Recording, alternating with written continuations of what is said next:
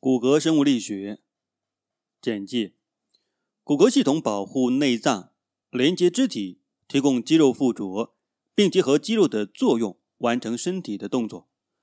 骨骼的作用仰赖其独特的结构及力学特性，在人体中其坚硬程度仅次于牙齿的珐琅质及象牙质，同时也是人体终生最具动态性及新陈代谢表现的组织。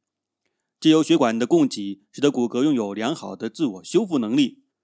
对于不同的力学环境，自我调整也十分出色。比如骨密度会随着经常被使用或不使用而有所变化。在骨折愈合过程中，也能够观察到愈合形态的不同。简而言之，骨骼能够随着不同的力学需求而产生适应性。此章描述骨骼组织的组成、骨骼的力学性质。以及骨骼在不同负载条件下的表现，与体外或体内对于骨骼力学表现的诸多因子，也将于此章中进行探讨。骨骼的组成与结构，骨骼属于特化的结缔组织，其固化的特性使其具有支撑及保护的功能。如同其他的结缔组织，骨骼同样含有细胞及其所产生的纤维有机包外基质及。非定型机制等。不同的是，骨骼含有大量的无机矿物盐类物质，并与有机物质紧密结合。无机物质使骨骼坚硬，而有机物质使骨骼较具弹性及可挠性。骨骼的细部组成与其所在之位置、年龄、饮食习惯及疾病息息相关。正常的人类骨骼中所含有矿物质大多为钙与磷等矿物质。结合为氢氧基磷灰石的细小结晶体，另外也含有一些碳酸盐类、氟化物等其他分子。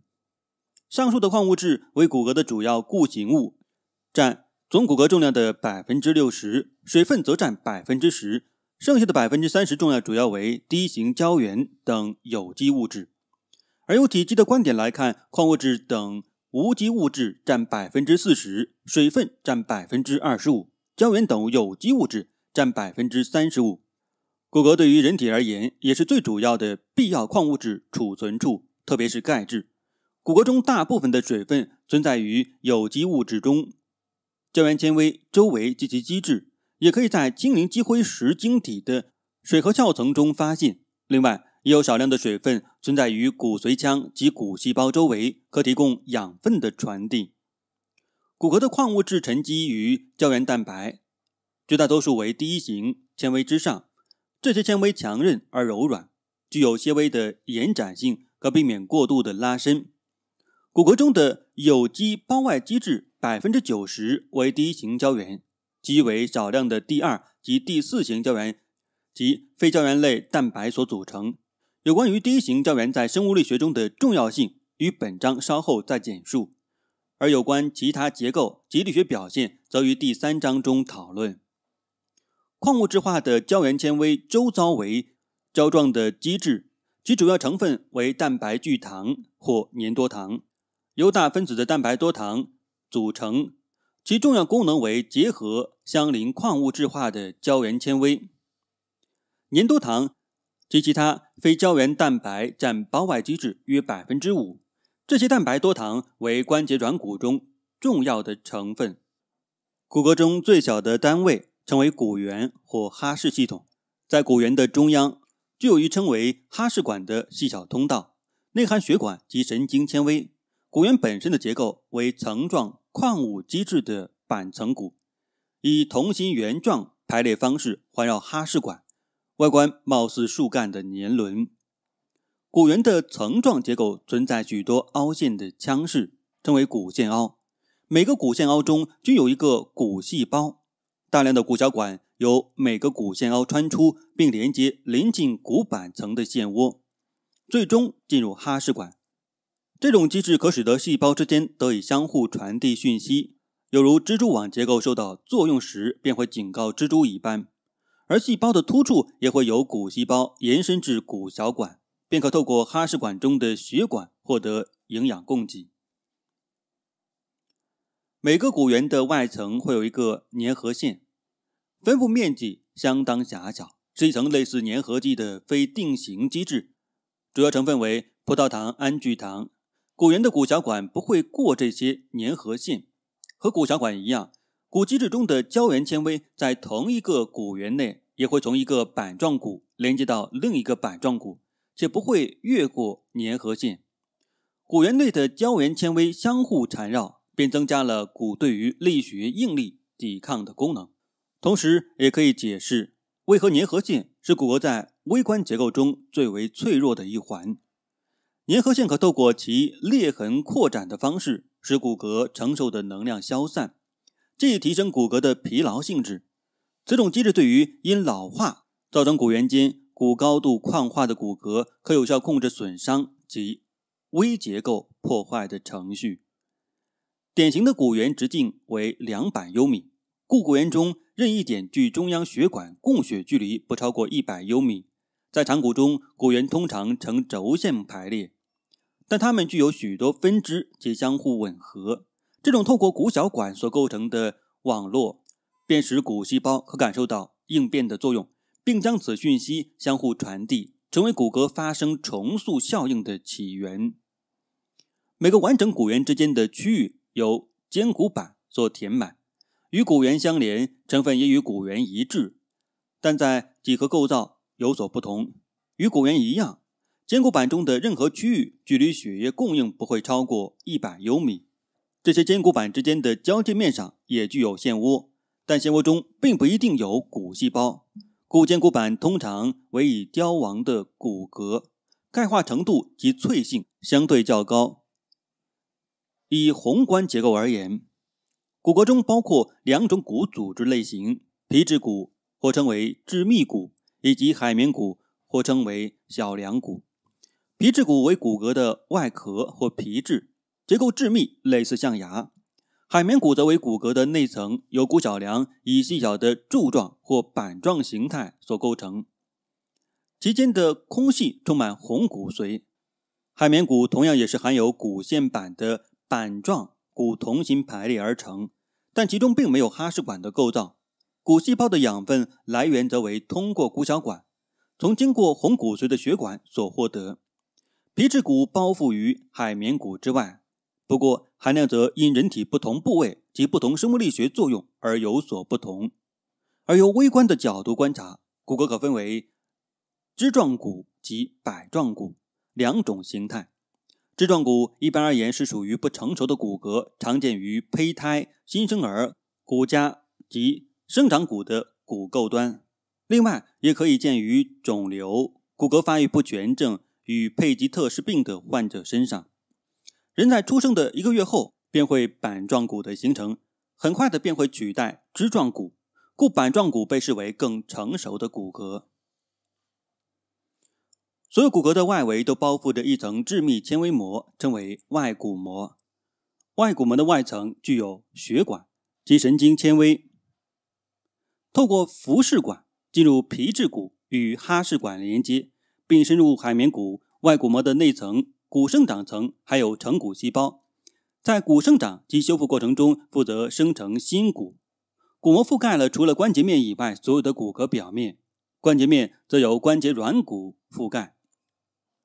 在长骨腔中还有一层内骨膜，覆盖于长骨的髓腔，髓腔中则充满了黄色的脂肪骨髓。内骨膜含有成骨细胞及巨大多核骨细胞，称为实骨细胞。这两种细胞在骨骼的重塑及吸收过程具有重要的作用。骨骼的生物力学性质，由生物力学的角度而言，骨组织属于双向的复合材料，一项为无机物，另一项则为胶原及无定型的基质。这类材料如非生物性的玻璃纤维中。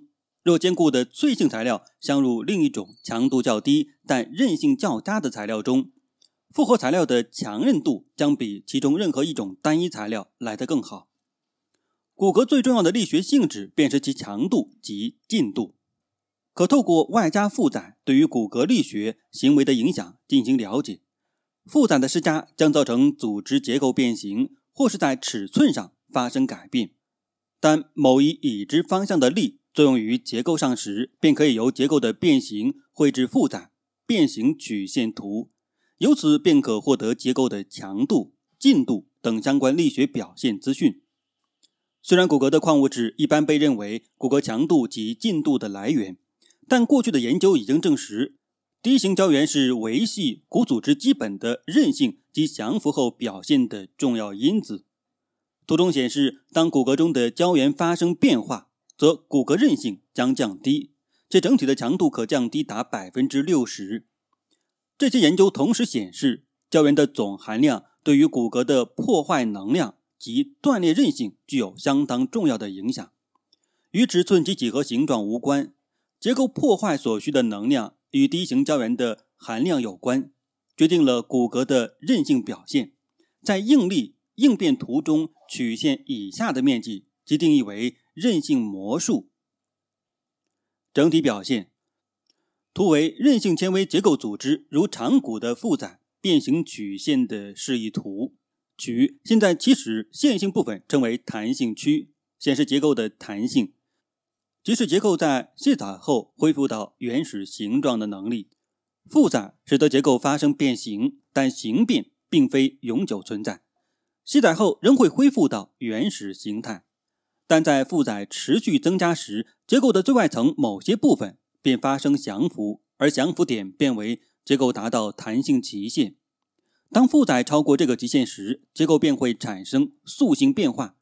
位于曲线的第二部分即弯曲部分称为塑性区。在塑造阶段，卸载后结构并无法恢复到原始形状，部分的残余变形是属于永久性的。如果负载持续增加，结构便会在某一点发生破坏、骨折。此现象在曲线中位于极限破坏点。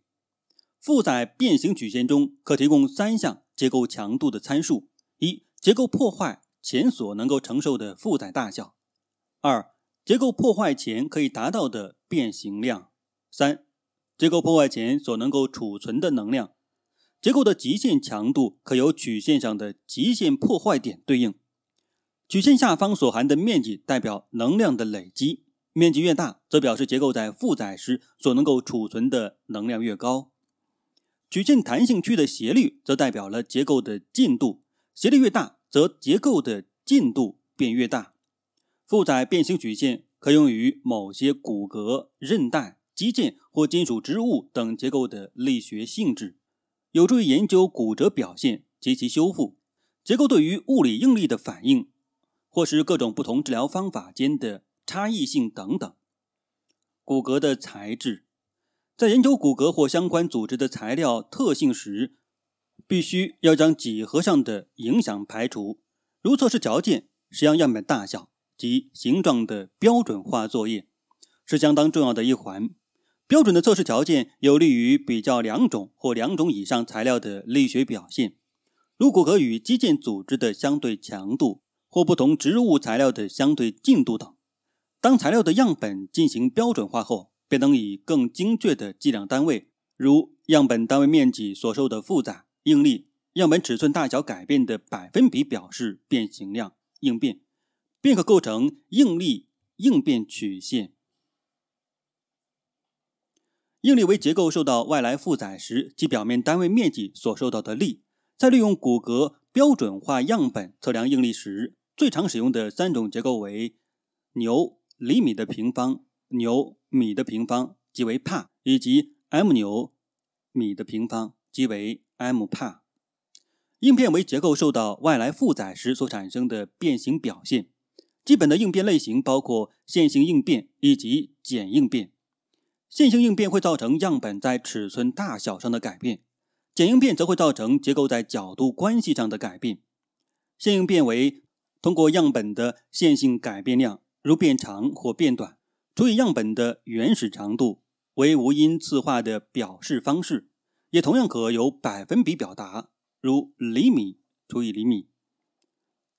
剪应变则依据样本受测试面与直角角度的改变量伽马表示。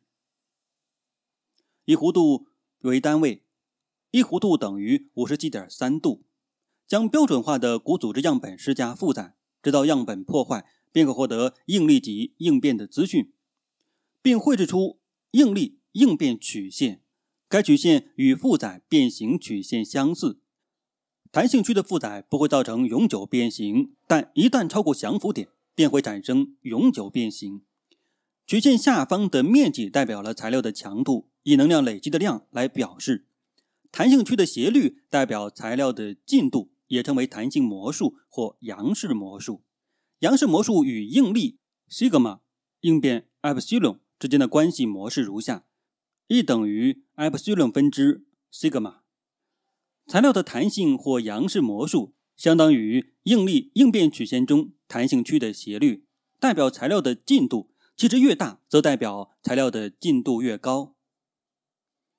皮质骨与海绵骨的力学性质并不相同，皮质骨的进度较海绵骨来得高，在材料破坏前能够承受较大的应力，相对产生的应变较低。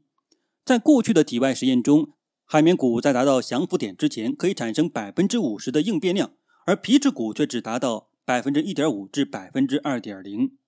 由于海绵骨是多孔的结构，所以十分能够储存能量。海绵骨与皮质骨之间的物理性差异与骨密度上的定量表现一览无余。骨密度的定义为单位体积内骨的含量。图中为相同测试条件下不同密度的皮质骨与小梁骨的典型应力应变关系。一般而言，使用单一个数值并不适合用以描述骨骼的强度，最好能够以应力应变曲线来呈现完整的表现。为了要了解骨骼与金属、玻璃等其他材质之间的关系，图中以应力应变曲线呈现了这些材料在力学表现上的差异。弹性区域所产生的不同斜率，可以反映出材料在进度上的差异。金属材料的斜率最为陡峭，故其进度为三者之中最高。在应力应变曲线中，玻璃及金属材料的弹性段呈现趋近于直线的表现。代表玻璃具有限弹性的特性，负载达到降伏点之前，这些材料都不会发生降伏；而在皮质骨方面，其弹性区并非直线的表现，而有轻微的弯曲，说明皮质骨并非线弹性材料。在弹性区域所受到的负载，便已经造成了部分的降服。表中比较了各种不同材料的力学性质，根据材料在破坏前的变形量大小，可以将材料分为脆性材料及延性材料。玻璃是典型的脆性材料，而金属为典型的延性材料。由破断面可以观察到两种材料在变形上表现的差异。将断裂的材料再次组合起来时，盐性材料将无法恢复初始的形状，而脆性材料保持了原本的形状。骨骼的脆性及盐性表现，则因其老化程度，年轻的骨骼更具延性，及其所受到的负载速度，在高速负载下，脆性表现更为明显。而有所不同。在达到降伏点之后，玻璃在破坏前所产生的变形程度很小，故其在应力应变曲线中缺乏塑性区。反之，金属在破坏前就产生了相当大幅度的变形，在应力应变曲线中出现了很长的塑性区。骨骼则在破坏前也会出现部分的变形，但仍然远小于金属。金属与骨骼在塑性表现上的差异，可在微观力学上进行描述。金属的破坏是拉伸实验中由于塑性流及塑性滑移线所引起的。当金属晶格结构中的分子分离时，便会形成；而拉伸实验中的骨骼破坏，则是由于前述粘合线处的骨缘脱离及微骨折所造成。而在压缩实验中破坏的骨骼可以观察到骨缘发生破裂。骨骼的生物力学表现，在受到力或力矩的作用下，骨骼的表现会受到其力学性质、几何特性、负载速度以及负载频率等影响而有所不同。意向性使骨骼的结构具有如树木般的层状特性，其横向及纵向结构间具有差异。所以在受到不同方向的负载时，便会反映出不同的力学表现，使得骨骼的意向性表现。等向性材料如金属等，则在所有方向上都具有相同的力学特性。图中为人体的股骨干皮质骨在受到四个不同方向拉伸负载时所表现的强度及进度具有差异性。在轴向负载时，样本的强度及进度为最高。图中为小梁骨在压力及张力测试下显示出不同的强度与进度。与皮质骨相比，海绵骨或小梁骨的密度、进度及延展性分别为皮质骨的百分之二十五、百分之五至百分之十及五倍。虽然负载的方式与骨骼的力学表现间的关系相当复杂，不过在一般而言，日常生活中最常见的负载方式为何？那么骨骼在这个方向上所展现的强度及进度便应该是最高的。骨骼于不同受力模式下的表现，施加在结构上的力量及力矩，对于结构而言，可能产生张力、压力、弯矩、剪力、扭力以及上述种类的合并负载。复合力，人体中的骨骼便可以受到上述所有不同负载的作用。以下将介绍这些负载在平衡状态、静止或等速运动状态下对于结构产生变形影响上的表现。张力，在拉伸实验中，大小相等、方向相反的负载向外作用于物体表面，在物体内部将形成张应力及应变。张应力可被视为许多微小、远离物体受力表面的力。最大张应力发生于负载方向垂直的平面上，在拉伸负载下，物体将被拉长而变细。在临床上，张力性骨折常见于海绵骨比例较高的骨骼，如第五趾骨靠近腓骨短肌腱附着点的位置，以及根骨接近跟腱的附着点位置的骨折。图中为根骨发生张力性骨折的 X 光影像。由于小腿三头肌的强烈收缩导致根骨所受到的张应力过高。这对于一般骨骼在抵抗张力的能力，逊于其他抵抗压力的特性上是相当不利的。压力在压力实验中，大小相等、方向相反的负载向内作用于物体表面，在物体内部将形成压应力及应变。压应力可被视为许多微小、指向物体受力表面的力。最大压应力发生于负载方向垂直的表面上。在压力负载下，物体将被压短而变粗。在临床上，压缩性骨折常见于受到高强度压力的椎骨。此类骨折好发于骨质疏松的老年人。图中显示为人椎骨骨折在受压后出现高度降低、宽度增加的现象。关节周围的肌肉异常强烈的收缩，将导致关节发生压缩性骨折。图中可以观察到，接受休克疗法。的患者发生股骨颈下压缩性骨折，髋关节周围的肌肉强烈收缩，造成股骨球头与髋臼之间产生的巨大压力。剪力，在剪力实验中，负载的方向与物体表面平行，在物体内部将形成剪应力及应变。剪应力可被视为许多微小的力作用于与负载方向平行的切面之上，受到剪力作用的物体会在内部。会产生角度变形，原本在物体内部的直角将会转变为钝角或锐角。当物体受到拉伸或是压缩时，在其内部都会产生剪应力。图中描述物体在受到这些负载下均会产生角变形的表现。临床上的剪力骨折最常见于海绵骨处，在轴向拉伸或压力测试中，与施力方向呈四十五度的面上将会出现最大的剪应力。其值等于物体所受到的最大正向应力值的一半。弯矩在受到弯矩负载时，结构所受到的负载便会及沿着某个轴产生转折。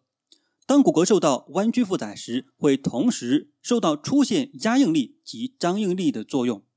张应力及应变会出现在中性轴的一侧，而压应力及应变则会出现在另一侧。中性轴上则无应力与应变，应力的强度与其所在部位距中性轴的距离成正比，以及离中性轴越远，则产生的应力会越高。由于骨骼的几何形变并非对称，故应力的分布也不均匀。弯曲可分为三点弯曲或四点弯曲，这两种受力形态的弯曲变形在临床上都会发生，尤其会造成长骨骨折。三点弯曲为发生于三作用力作用在同一结构上，并产生两个相同的力矩，每个力矩等于作用于结构的一端的力乘以其至旋转轴的垂直距离。如果负载持续增加至降伏点，在结构为均值、对称、无瑕疵的理想状态下，断裂将会发生于中央力作用点之处。典型的三点弯曲骨折，如滑雪者所穿滑雪靴顶住所发生的骨折。当滑雪者摔倒时，有一个弯距作用于滑雪靴上方的胫骨近端，另一个相同强度的弯距由固定滑雪靴的滑雪板所产生，作用于胫骨远端。当胫骨近端向前弯曲，胫骨后方便会产生张应力及应变，前方产生压应力及应变。如此，在滑雪靴顶部便会发生胫腓骨骨折。由于成人骨骼抵抗张力的能力逊于抵抗压力，故骨折最先发生于张力侧。反之，不成熟的骨骼具有很好的延展性，故骨折会先发生于压力侧。四点弯曲则发生于两个力偶共同作用于物体，产生两个力矩之时，当两个大小一致、方向相反且平行的力作用于结构上时。便会形成一个力偶。由于在两个力偶间结构所受到的弯距是相同的，故破坏会发生在结构中的最弱处。有关四点弯曲的骨折例子，可见案例二杠一所述。案例二杠一：骨骼的疲劳。一名患者因术后感染而发生股骨骨折，在康复期间因膝关节僵硬而接受了不当的推拿治疗，在推拿过程中。膝关节后方关节囊与胫骨形成了一个力偶，股骨球头与髋关节囊形成了另一个力偶。当弯曲作用于股骨时，股骨便会在其最弱处发生骨折，即原本骨折位置会再次发生骨折。扭转，扭转负载于物体，造成其结构沿着轴线发生扭曲，在物体内便会产生扭矩。当物体受到扭转负载时，整个物体便会有。剪应力的分布，当物体发生弯曲时，剪应力强度与其所在位置距离中性轴的距离成正比，即离中性轴越远的位置，其剪应力值越高。在扭转负载下，最大剪应力分布于与物体中性轴平行及垂直的平面上，此处最大张应力及压力分布于物体中性轴的对角线平面上。图中描述了上述平面在受到扭转负载下的应力分布状况。在扭转负载下的作用下，骨折会先由与剪力的作用而发生。最初发生的骨折裂痕与骨骼的中性轴平行，接着发生的骨折通常会沿着最大张应力平面分布。图中为用狗的股骨进行扭转测试所发生的骨折形态。复合力。虽然各种负载方式是独立存在的，但在人体中并不会出现只受到单一作用力的情况。人体骨骼的受力情况相当复杂，主要有两个原因：骨骼持续受到多重具有不稳定性的负载，以及骨骼的几何结构是不规则的。过去的研究测量了成人在行走及慢跑时胫骨前内侧面的应变量，说明这些常见的运动在胫骨所反映出来的受力模式是非常复杂的。利用计算应变的方式，推估胫骨前侧外侧皮质骨的应力，提出在正常步态过程中，足跟着地主要发生压应力，站立期转换为张应力，推进期又转换为压应力。在步态周期的末端，剪应力相对会提高，说明此时存在明显的扭转负载。这种扭转负载与足跟着地与推进期所产生的胫骨外旋有关。在进行过程中所产生的应力有很大的不同。首先，在脚趾着地时，胫骨前外侧皮质骨的压应力较高，但在推进期时转化为高张应力，整个过程的剪应力较低，意味着在步态交替过程中，胫骨的内外旋转量较低，即所产生的扭转负载也较低。从慢走到急行的过程中，随着速度的增加，胫骨的剪力也随着提高。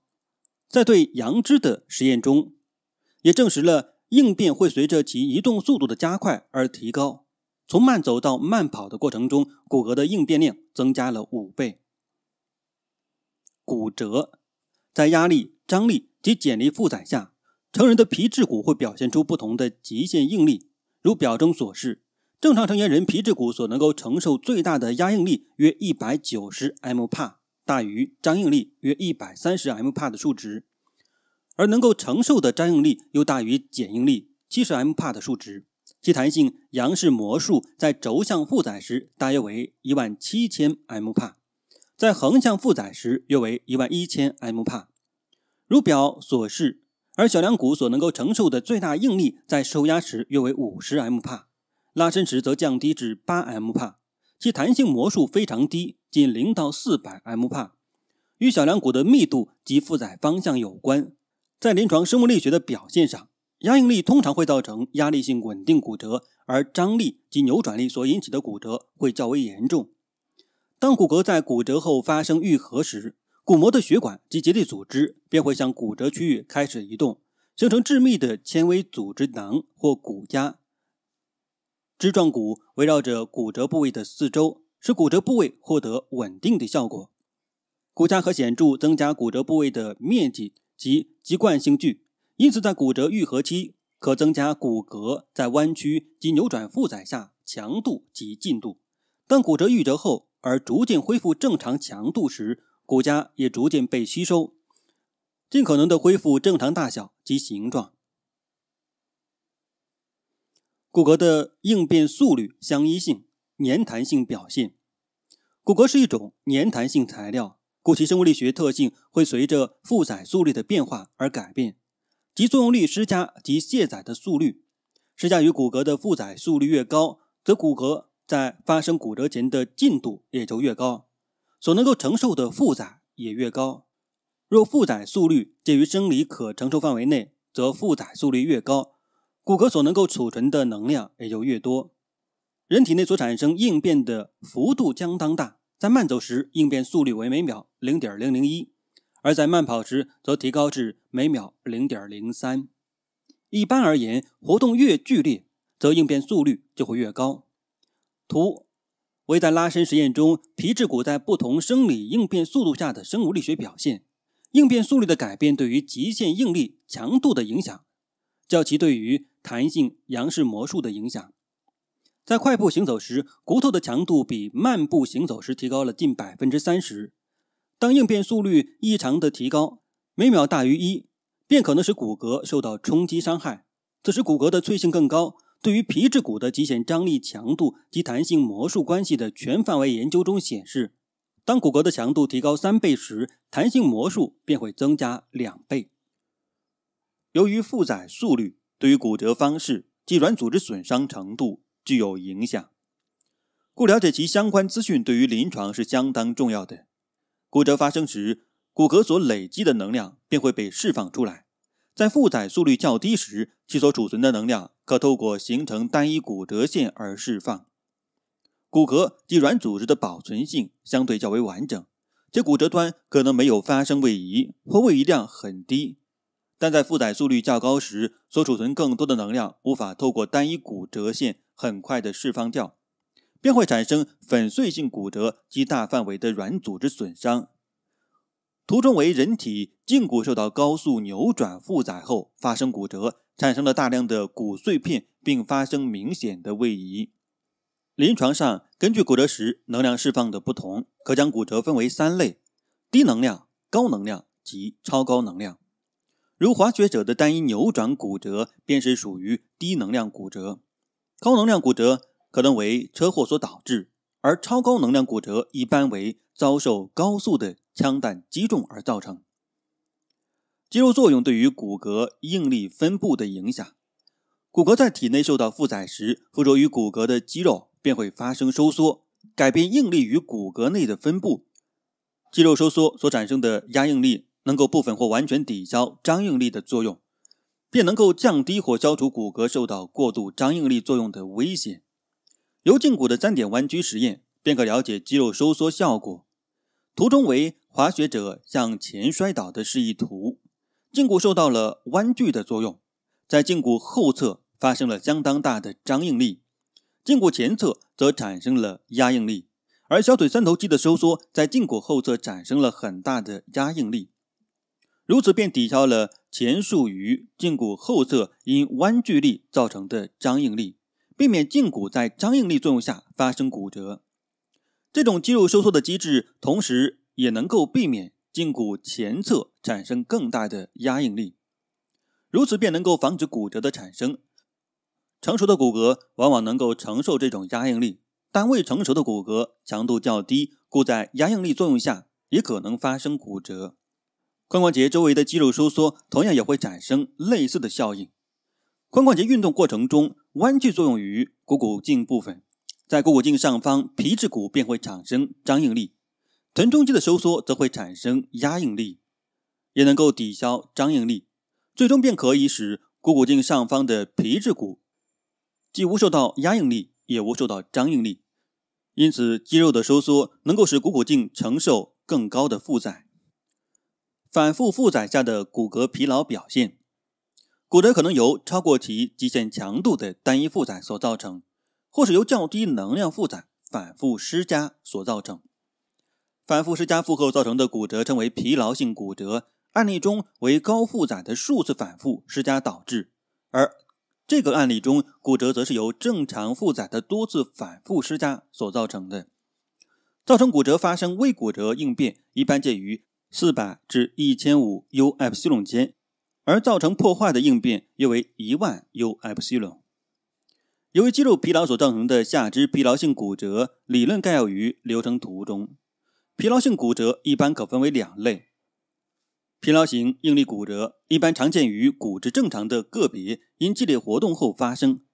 骨质不足型骨折为骨质疏松或软骨症患者在进行一般强度的活动后发生，较常见于老年人。上述分类中又可再细分为两个子族群：张力型疲劳性骨折及压力型疲劳骨折。张力型骨折。因其产生机制为骨缘剥离，并产生横向的裂痕，称为黑线，有可能因为继续的活动而完全断裂，并伴随着较大的位移情况。在压缩性骨折的情况下，骨折线为呈一倾斜的裂痕，而使其供血发生障碍。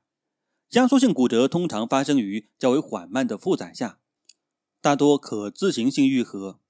负载及其反复次数的关系可绘制为疲劳曲线。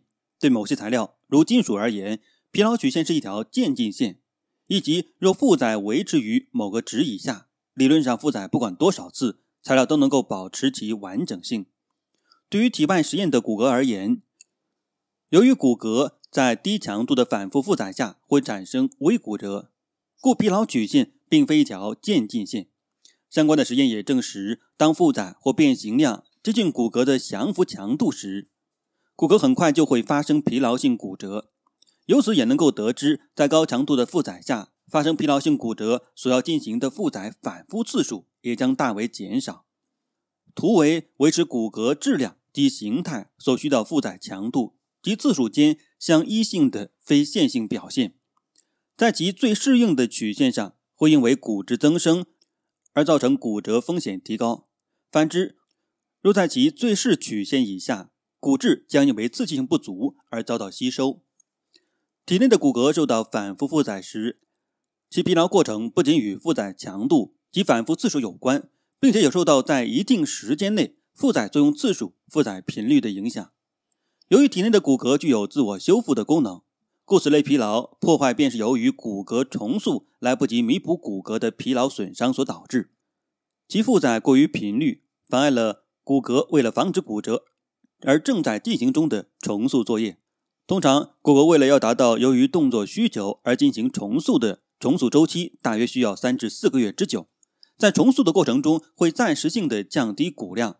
若同时有太多单元在进行重塑工作，则也可能因为骨骼在短暂降低骨量的时期中发生骨折。疲劳性骨折往往发生于持续过度活动的部位，是即。肌肉疲劳、收缩无力，造成其储存能量能力及抵消骨骼应力的作用下滑，造成骨内负载异常升高而发生疲劳破坏，而破坏的累积最终也造成了骨折。相较于受到张力影响，骨骼在受到压力时较不容易出现疲劳的表现。在跑十英里中，所对应的循环负载平均为五千次，而一千英里的跑步过程则可达一百万次的循环负载。根据推估，在总距离低于一万英里的情况下，便能够引起皮质骨的骨折。过去的研究报道，包括新兵在六周内的密集高强度训练、行军及跑步，以及大学运动员每周跑一百二十英里所发现的疲劳性骨折，也支持论点。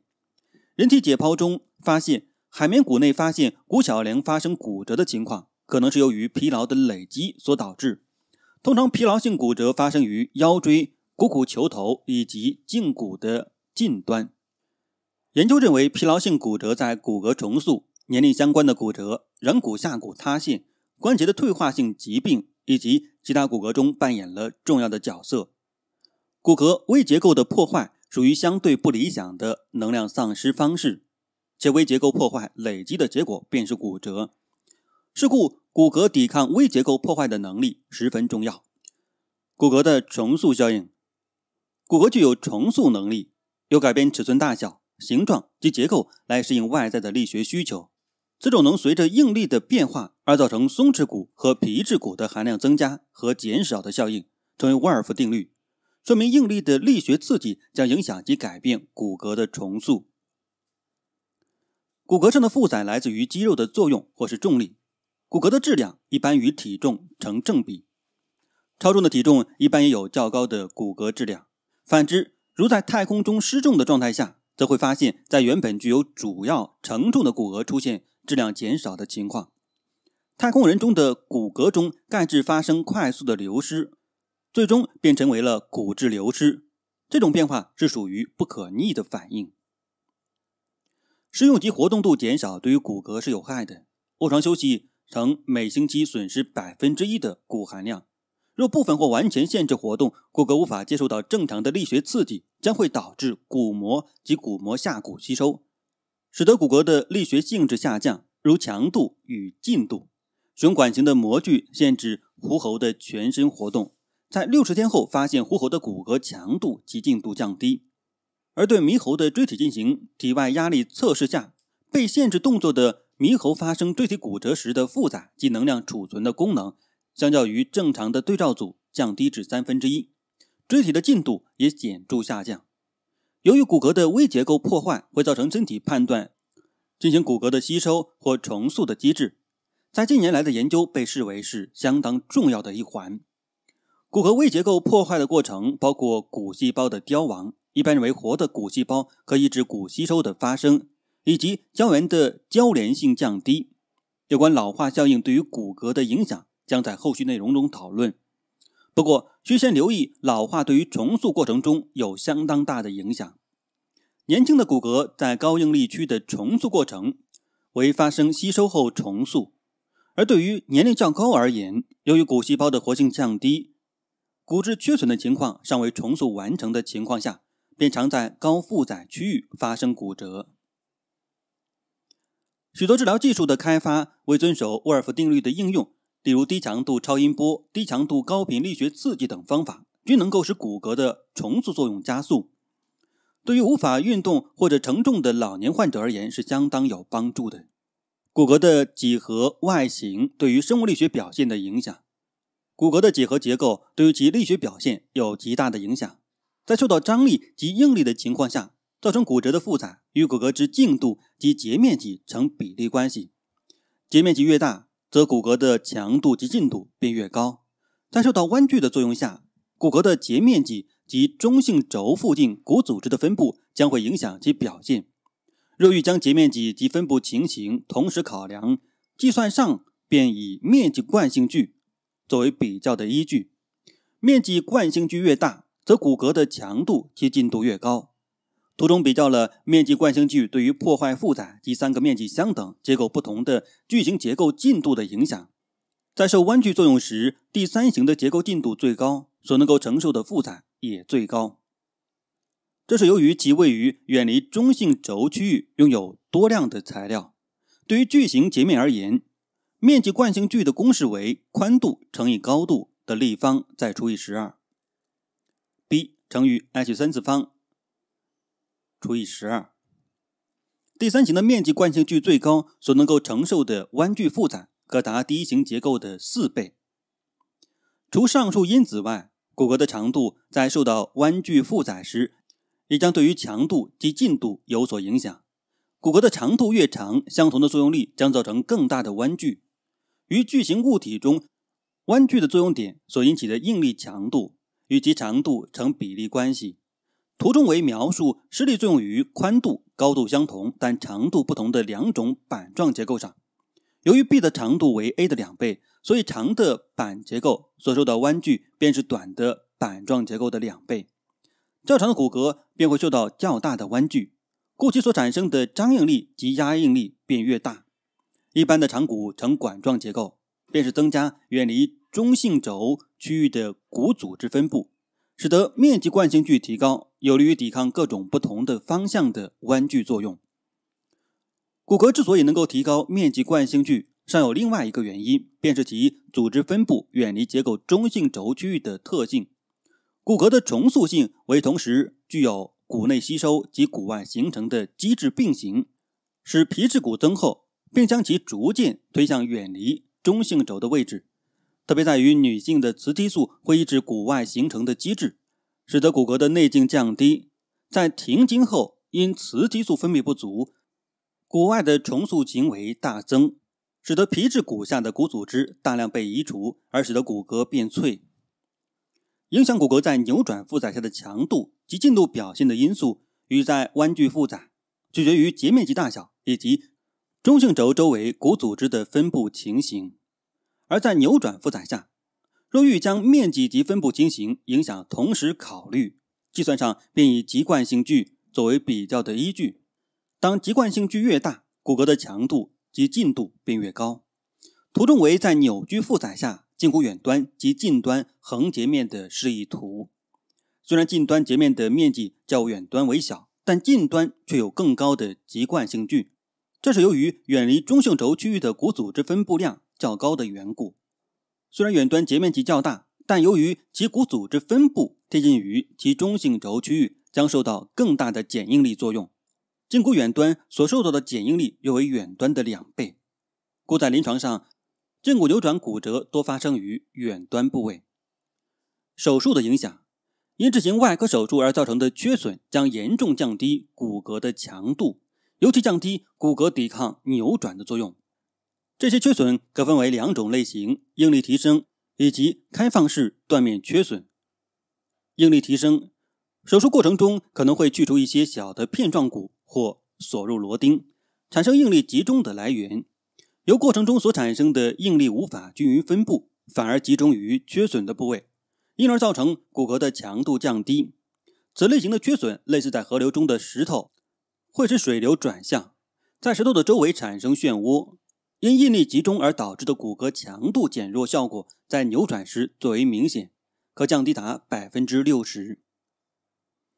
有学者将高速的扭转力作用于兔子的股骨上，比较像有螺丝及空的螺钉孔所造成的应力集中对于能量储存的影响。结果发现，钻孔及锁入螺丝使得股骨储存能量的能力降低了百分之七十四。这种现象在八周后因骨骼重塑的产生而完全消失。骨螺钉周围的骨质增生使得螺钉获得稳定，而空的螺钉孔也会获得新的骨的填补。若再将股骨的螺钉移除，其储存能量的能力又降低了百分之五十。主要是由于在螺钉移除过程中，又对周围的骨骼产生了微结构破坏。而在植入大型的髓腔内植入物时，同样也可能因为骨骼的非等向性而造成骨折。比如，具有椎骨的非骨水泥式髋关节股骨柄，在植入股骨干时，若不慎打得太深，则会产生环向应力而造成骨折。开放式断面缺损，手术中若去除长条形的片状骨，如开槽一般，便会造成开放式的断面缺损。使得结构的连续性发生破坏。骨截面的最外层若欠缺连续性，则其抵抗负载的能力就会改变，特别在于承受扭转负载的情况下。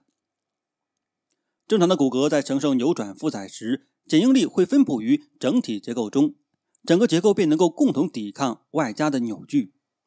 应力在长骨横截面的分布，如图中所示，其结构是完整的，则称之为封闭区间。而在一个存在开放区间的骨缺损中，只剩下边缘的剪应力能够抵抗外加的扭矩。骨骼内剪应力流动的方向，由于骨骼的不连续性，不得不改变流动的方向。在骨骼的内表面，剪应力流动的方向与外加扭矩为同向，使得抵抗外加负载的骨组织数量急速降低。在成人胫骨内的体外扭转测试中，开放式断面缺损降低骨折发生前的负载及能量储存达百分之九十，骨折时的变形量约降低了百分之七十。临床上锯除长条形的片状骨将大幅降低骨骼的强度，特别是影响了承受扭转负载的能力。图中胫骨的 X 光影像原由此处取得，自己补骨进行髋关节固定手术，在术后几周，患者不慎摔倒，胫骨缺损的部位便不幸发生骨折。骨骼的骨沉淀与吸收。一名三十岁的耻骨移位性骨折患者，在骨折稳定后，将耻骨的骨板取出。图中为移除骨板后前后向 A 及侧向 B X 光。植入物骨板的目的为稳定骨折部位，并促进骨折尽快愈合。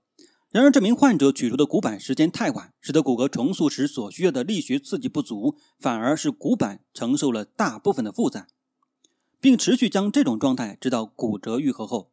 根据沃尔夫定律，骨板下方的骨骼在应力等力学刺激不足，造成局部的骨组织遭到吸收，使得骨骼的强度及进度降低。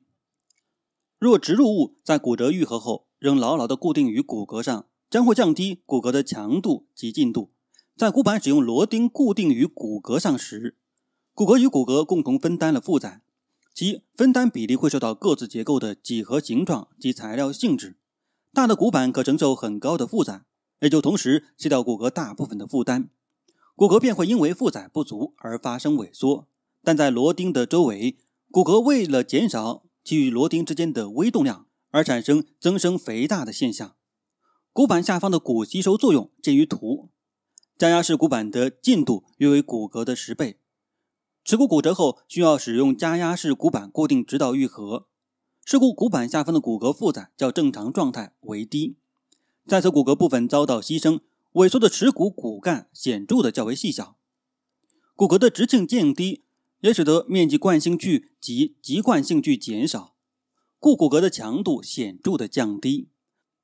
特别是在弯曲及扭转的作用下，骨骼的直径减少百分之二十，便会降低扭转强度达百分之六十。由图中便可知道，愈合不久后。应于骨骼大小和形状发生明显改变之前，便要移除骨板。骨骼的尺寸减少，往往便会随着继发性的骨质疏松症，更进一步降低骨骼强度。植入物附着于骨骼的部位将会发生增生性的肥大现象。图中可发现，螺钉的周围发生了骨骼的肥大。在股骨颈骨折后，使用骨板进行固定，螺钉周围的骨组织便会产生肥大，以适应螺钉所在部位负荷增加的状态。在正常的生理活动范围内，反复的力学刺激也会造成骨骼肥大。在过度的运动训练中，可以观察到正常的成熟骨骼发生肥大，骨密度也会增加。因老化所引起骨骼之退化，随着年龄增加，骨密度将会持续的降低。纵向的骨小梁会变细，而横向小骨小梁会遭到吸收。其所造成的结果便是海绵骨的数量显著下降，皮质骨变薄。骨骼的质量与年龄及性别之间的关系可参考图。骨骼质量的下降及其尺寸的减少，将会造成其强度及进度的弱化。图中为不同年龄人类胫骨在拉伸测试下的应力应变曲线。年轻人及老年人骨骼的极限应力大致相同，但老年人骨骼的应变能力仅为年轻人的一半，表示老年人骨骼的脆性较高，能量储存的能力较差，胶原的交联性降低。骨密度、强度及进度减少，都将造成骨骼的脆性增加。与年龄相关的骨骼质量损失取决于相当多的因素，包括性别、年龄、妇女停经后雌激素分泌不足、内分泌异常、活动减少、食用及钙质不足等。在几十年内，小梁骨及皮质骨将分别减至最初时骨骼质量的百分之五十及百分之二十五。到四十岁时，女性每年会流失百分之一点五至百分之二点零的骨骼质量，而男性每年流失量仅有女性的一半。规律的活动及锻炼，适当的钙质摄取，雌激素的补充将有助于缓和随着年龄增长骨骼矿物质流失的情况。本章摘要：骨骼是一种复杂的双向复合材料，一项是由无机矿物盐组成，另一项则由有机基质，包括胶原及无定型基质。无机成分使得骨骼具有硬度及劲度，而有机成分使得骨骼具有韧性及弹性。以微观的角度而言，骨骼的功能结构单位为骨元，或称为哈氏系统。此系统为矿物基质以同心圆排列。包围中央的哈氏管所构成，哈氏管中含有血管及神经纤维。以宏观的角度而言，骨骼由皮质骨及海绵骨或小梁骨组成，皮质骨密度较高，小梁骨密度则变异性相当高。骨骼属于异向性材料，当受到不同方向的负载时，拥有不同的力学表现。成熟的骨骼压缩强度及劲度为最高。骨骼在正常生理活动，如行走、慢跑等。其所受到的负载相当复杂，大多数的骨折起因于多重复合式负载作用。肌肉的收缩能够影响骨骼的应力分布形态，以产生压应力的方式，可部分或完全抵消骨骼的张应力。骨骼为粘弹性材料，在骨折发生时，骨骼的硬度越高，其所能够承受的负载也就越高。骨骼所受到的应变速率越高，其所能够储存的能量也就越多。当骨骼受到负载频率对重塑现象发生妨碍时，也将造成疲劳破坏。骨骼的力学特性受到其结构、几何形态的影响，包括长度、截面积及中性轴周围的骨骼组织分布。骨骼会依其力学需求产生重塑，在受到力学刺激时便会产生沉淀，而在缺乏力学刺激时便会发生骨骼被吸收。依照沃尔夫定律的定义。便会发生骨骼被吸收的现象。年龄的增长会造成海绵骨含量降低，皮质骨厚度减少。这些改变会造成骨骼的强度及劲度降低。